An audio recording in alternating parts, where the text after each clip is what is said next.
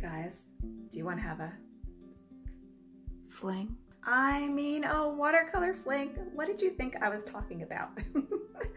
In today's video, we're gonna fling some paint to make a beautiful Friesian's mane really fly. So let's get started.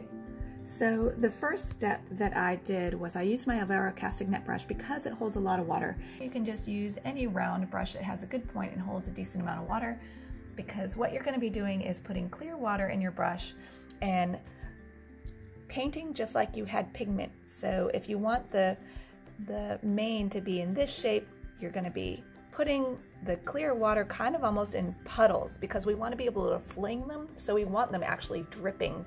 So a lot of water and kind of in the direction of the mane paint in the direction of the mane along this crest of his neck with puddling pools of clear water, but not just round pools. You want them in the shape of long strands of hair so that when you go to fling it, the water will fling out and make these longer lines of paint when we drop that in. And I'm flinging the paint. And when you go to fling the paint, you want to fling in different directions and you're gonna have to play with this a little bit to see which way you need to fling to get the, the mane to fling out in the direction you want it to and you want it to fling out in several different directions. You don't want it all in one direction because that will look totally fake. You want it to fling up kind of above his ears and then straight out from his neck and then kind of down over his withers or back. But anyway, to create the colors in this mane, I just used my typical colors, my typical pa palette for a brown horse or a brown animal. And um, that would include um, burnt sienna, and you can see the burnt sienna kind of granulate out and the ultramarine blue. And I also use cerulean in this painting, and that really makes things uh, granulate out really beautifully, so you might want to try that too. Okay, so again, here I'm going in with my Alvaro Castagnet brush with a good point. I'm putting that paint directly into this puddle of water that I've created. So you do have to work a little bit fast. You've got to be able to drop the, I would say it's about between milk and cream consistency paint that I'm dropping into these very wet puddles of mane shaped water that I've created. And it's a combination of burnt sienna and ultramarine blue. And here you can see I'm also doing a little bit of splatter.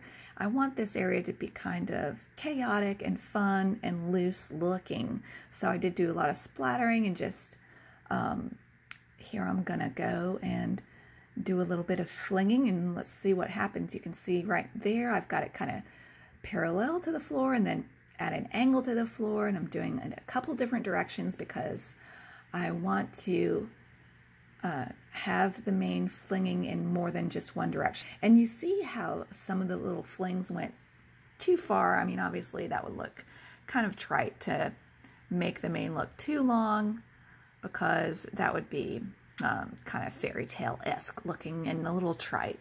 You don't want the horse to look too Barbie dolled up, if you know what I mean. So I padded out some of the um, mane and then I'm painting right across some of those stripes right away with some tea consistency paint and um, almost clear paint. I mean, there's barely anything in my brush there and you can even go in with clear water with less pigment in your brush here and then I'm painting out some of those longer lines that I just don't want um, some of these longer lines in there and I'm shaping it. So I'm working around the mane now and putting in some ultramarine blue up there in the corner and some cerulean blue and working on my background at the same time so that it all kind of merges together so that it hangs together well and there are some soft edges at the ends of the mane so that again this mane doesn't look pasted on and too um, contrived. You want it to look natural, you want it to look like it's moving and there's soft edges and hard edges on. And here I'm going in with some clear water into what I already painted with a rigger brush and painting into the mane some more strands of hairs coming out. And you don't want to paint every single strand. You want to think more in terms of currents of the mane. You want to just keep reworking this mane as much as you can um, while it's wet in this stage to shape it and get it where you want it to go. And later you can go in and, and add some details. Now, what I will do later is go and put some more darks in because when this dries, it'll be all kind of one flat medium tone. And so it will need some changes to that later. So here I'm putting in some cream consistency mix of burnt sienna and ultramarine blue. And the more ultramarine blue you put in it, the blacker it's going to look. The more burnt sienna you put in it, the browner it's going to look.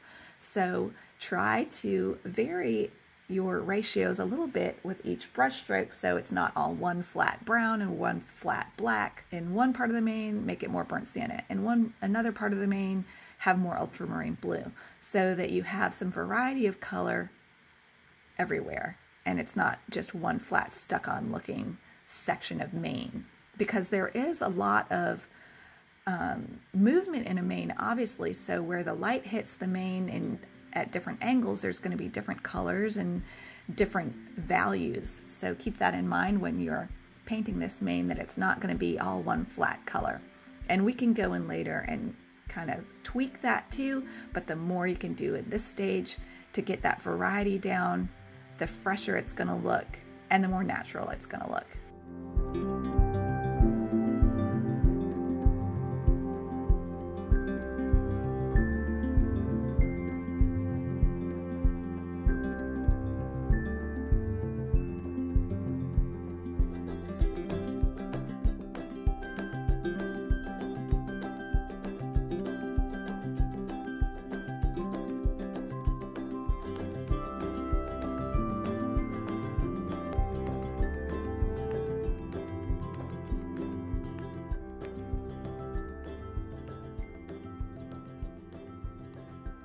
Okay, you guys, I am gonna call that a wrap. I hope you enjoyed it. I'll see you guys next time and take care.